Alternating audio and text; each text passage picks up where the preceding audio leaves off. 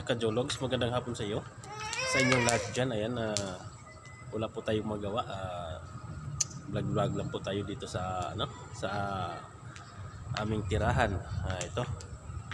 Ayan guys, yung aming tirahan guys, yung building na yan. At dito po yung tinayuan ko is ito yung clubhouse namin. Ayan, may swimming pool po dito.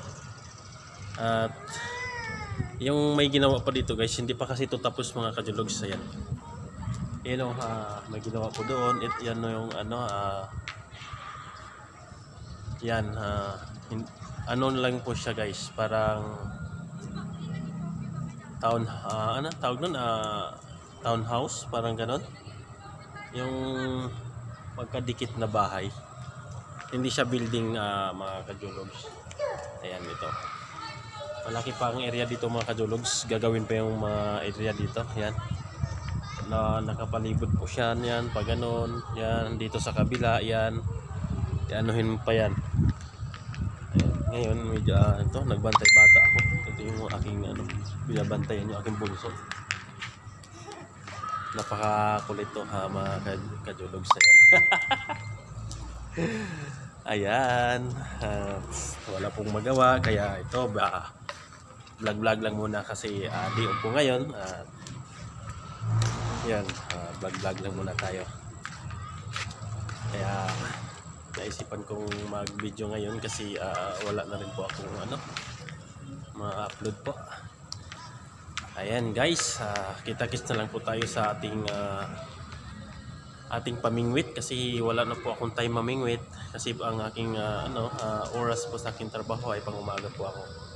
Kaya next time guys, ah, kita na lang po tayo sa ating ah, pangmingwit sa Tagalog po. Kasi yun po talaga ang ano. Tsaka guys, ah, mayroon din akong goal talaga ah, para po sa mga mahirap. Dapat ah, yun talaga ang ating ating content. Kaso wala po po akong ano, ah, sapat na kita. Kaya sa pamingwit mo na ako. Pero pag may ah, may sapat na po akong pera mga kaibigan, ah, mga kajologs, ah, yun makukuha na po siguro yung aking goal na sana ah, makatulong po ako sa mga mahirap. Yun po talaga ang goal ko sa aking youtube channel mga kajulugs kaya ayan, sana tulungan nyo ako mga kajulugs ah, para po makatulong po ako sa ating mga homeless ah, yung sa mga mahirap mga kajulugs ayan. Sana makatulong po tayo kasi kawawa talaga sila kaya sana po makatulong po tayo sa ating kapwa ating kapwa para mapasaya naman tin- natin sila kahit saglit lang. Ayan. Sana makatu ah, sana may tumulong man sa akin kasi wala pa po akong sapat na kakayahan para tulungan po yung aking ano ah, mga homeless. Kasi yan talaga ang goal ko mga kaibigan na tulungan sila.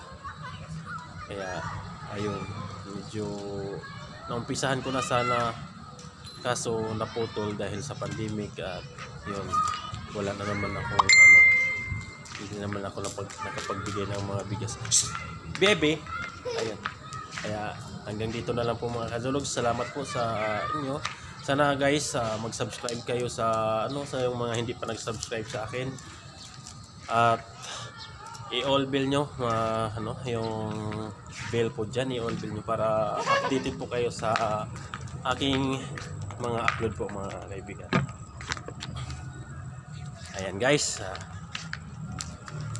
sana po ah, mag-subscribe kayo yung mga hindi pa nakasubscribe hanggang dito na lang po ah, mga kajologs. At babay po sa inyo lahat. Bye bye